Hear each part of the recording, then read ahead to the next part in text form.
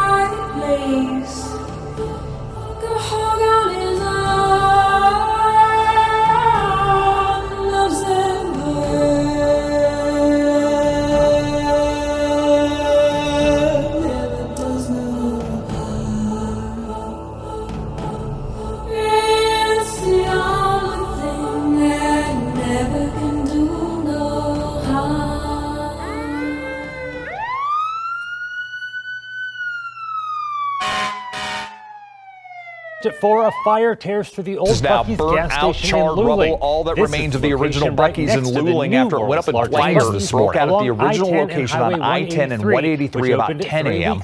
More than a dozen then, fire departments responded to the scene. An official with the Luling the Gonzales Inquirer, and no injuries have been reported.